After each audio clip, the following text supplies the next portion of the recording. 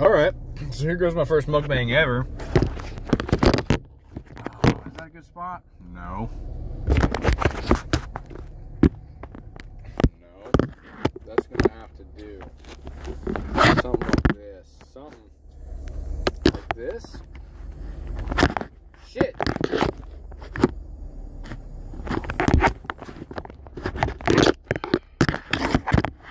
All right.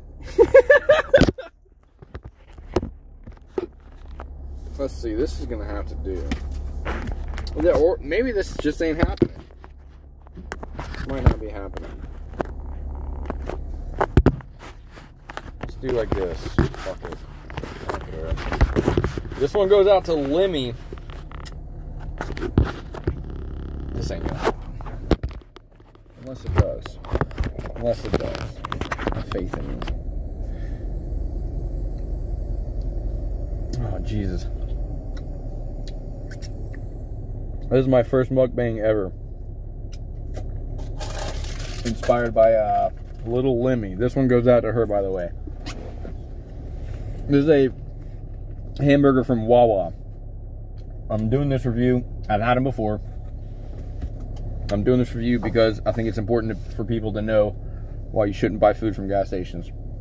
And I'll give you the first reason why in a second. What I got here is mustard, mustard, mayonnaise, and lettuce with some cheddar on a fucking hamburger patty. Let's test the quality of Wawa's meat real quick.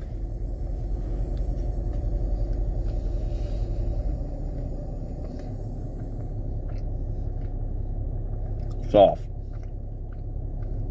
And processed. Tastes like processed meat. Tastes like what you would expect from a gas station hamburger with some kind of okay bread that's dry on the outside but not on the inside somehow. I don't know. Fresh lettuce. It's the only thing fresh about it.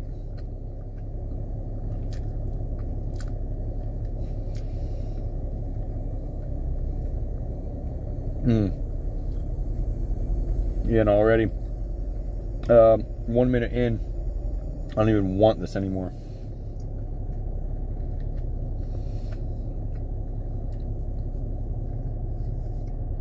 This is awful.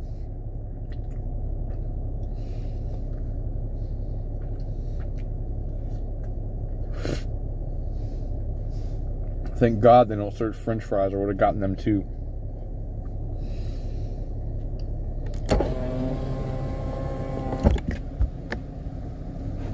This thing sucks. The bread's the worst part. The bread is like, I don't know. You can tell it looks fancy, but it's not. It's like worse than. I don't know. It's like if I lifted a loaf of bread out of the package, made a sandwich with it later.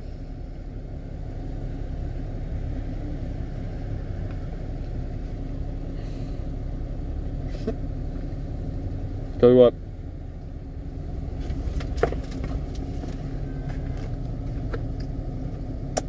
Not eating this, dude. I'm going home and eating leftovers.